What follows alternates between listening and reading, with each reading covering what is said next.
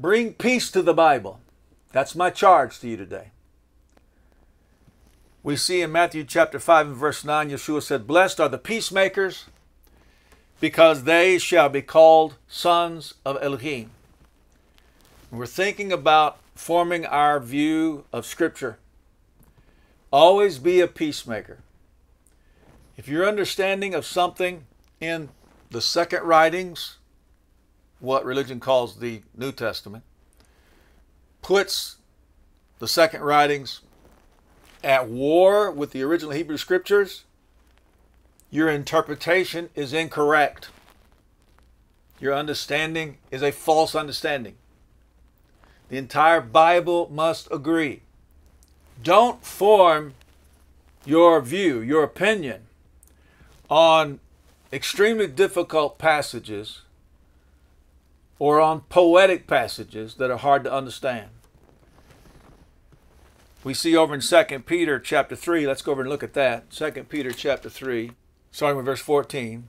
So then, beloved ones, looking forward to this, do your utmost to be found by him in peace, spotless and blameless, and reckon the patience of our Master as deliverance, as also our beloved brother Shaul wrote to you, according to the wisdom given to him, as also in all his letters, speaking in them concerning these matters, in which some are hard to understand, which those who are untaught and unstable twist to their own destruction, as they do also the other scriptures. And so we find right here in this passage that there's this warning that some of Shaul's writings are hard to understand.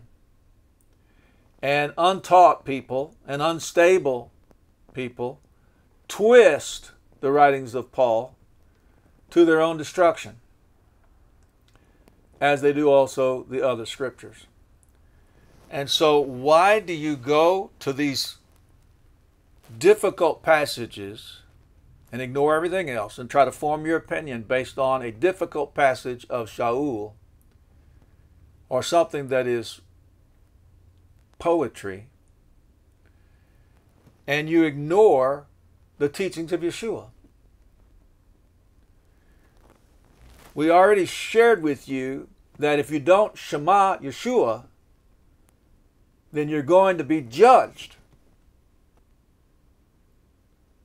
And so, what Yeshua says is paramount.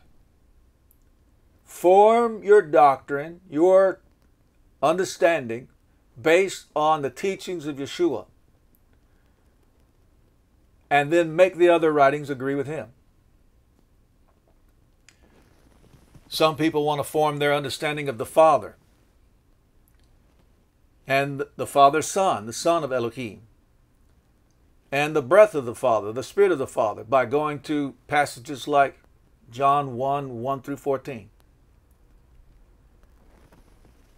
Why not go to Yeshua and allow Yeshua to teach you who his Father is, who he is, and what the Spirit is, and then make the other writers agree with Yeshua? That's the way to bring peace to the Bible.